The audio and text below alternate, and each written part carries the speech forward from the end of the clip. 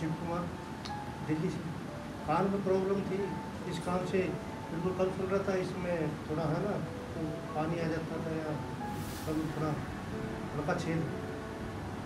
ये काफ़ी पुराने को बस ये बचपन समझो या बचपन से दस बारह साल से काफ़ी डॉक्टर को दिखाया एम्स में दिखाया था डॉक्टर नहीं रिज़ल्ट तो जो कान में जब पानी आ जाता था उसका तो इलाज हो जाता था पर सुनने की शक्ति मतलब डॉक्टर ये बोलता था जो अपने आप आएगा या नहीं आएगा, वो मना ही करते थे ये आपके जो फेसबुक है व्हाट्सअप तो इसमें टी वी पर आपकी ऐड आती है दस पंद्रह परसेंट तो ज़्यादा थोड़ा मेरे मेरे मेरे को लगा कुछ पहले से काफ़ी है।